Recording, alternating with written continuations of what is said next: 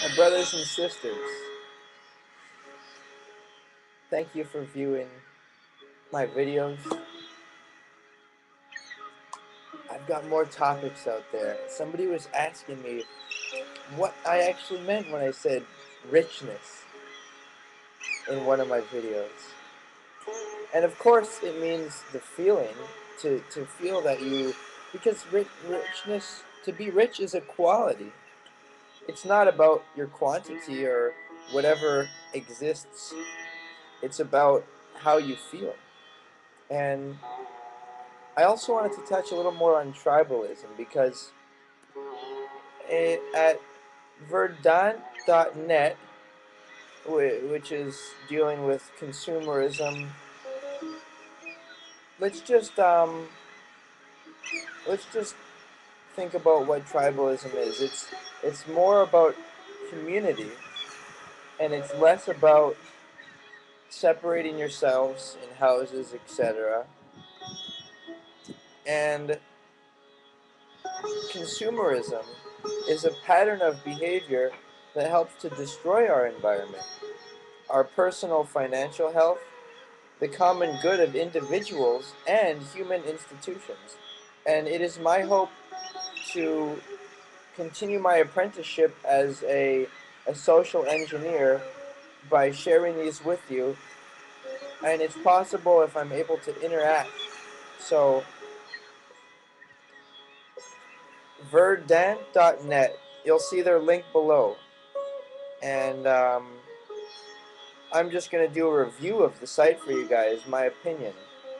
And so, basically, they talk about taking action and the alternative economy. You see, many people are finding that the standard economic model no longer works for them because all of this money travels quickly and, and the New World Order supposedly wants to make a world uh, monetary system in which there's only one currency. And what that does is that helps all this money to get in the hands of people who are going to use it, the money, or as it's also called, energy. They're going to use it for their own self-interests. And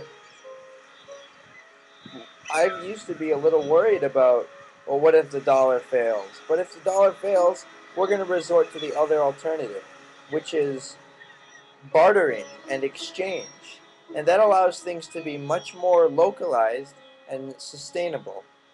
Um, and with technology like the internet and so on and so forth, we should be able to communicate and, and bring that kind of close-knit society to a bigger and bigger scale so that we as Earth, as a, as a humanity, can unite. And, and so, forces beyond our control have changed the economic rules. And we're expected to continue cons consuming and responding to advertising and paying for our taxes, but the deficit there is made up with our free time and our community's sovereignty. People are turning away from this situation in disgust and are helping to develop an alternative economy as both healthy survival and a means of peaceful protest. So here's an example of the alternative economy. If you continue to shop at Costco, Home Depot, and Walmart, you can decide not to and shop at smaller stores because they emphasize personal contact and customer service. And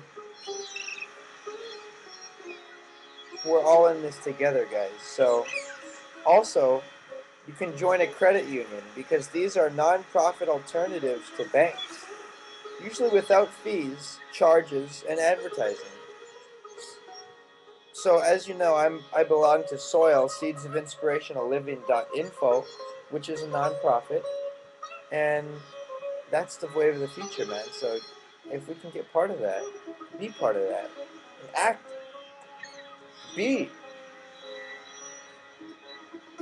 So let's see.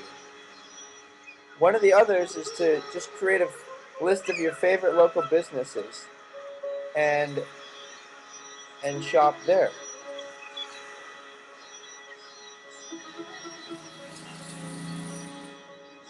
And be strong, guys.